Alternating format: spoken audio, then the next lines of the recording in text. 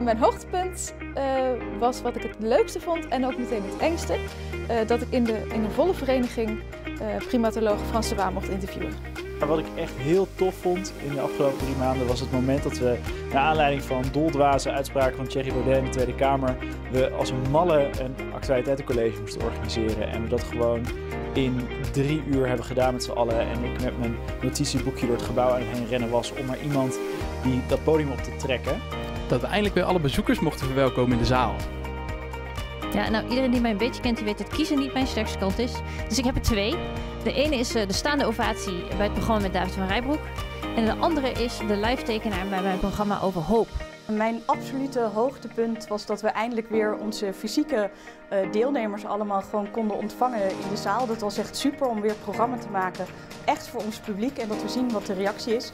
Maar daarnaast natuurlijk ook dat wij binnen het team van Radboud Reflex weer met z'n allen op het werk konden komen en echt konden gaan samenwerken en super mooie programma's konden neerzetten.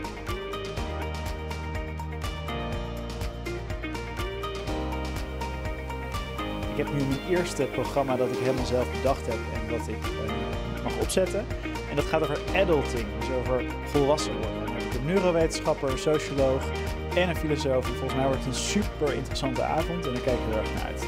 Waar ik heel nieuwsgierig naar ben, is uh, dat er in maart een spreker komt, David McCraney, um, die ons iets gaat vertellen over hoe we iemand van gedachten kunnen laten veranderen. Ik, ik, ik, kijk wel uit naar uh, de Holocaust Memorial Day. Dat is een programma waarbij een getuige, dus iemand die de Shoah uh, zelf heeft meegemaakt, uh, te gast is en vertelt over haar ervaringen in dit geval. En dat zijn altijd indrukwekkende avonden heel veel, denk ik. Want we hebben heel veel uh, mooie programma's uh, klaarstaan. We zijn hier heel druk aan het werk om ze allemaal ook daadwerkelijk op een datum neer te zetten. En wat ik vooral ook leuk vind, is dat we heel veel internationale denkers krijgen. Filosofen, andere wetenschappers die langskomen in Nederland. En daar verheug ik me heel erg op.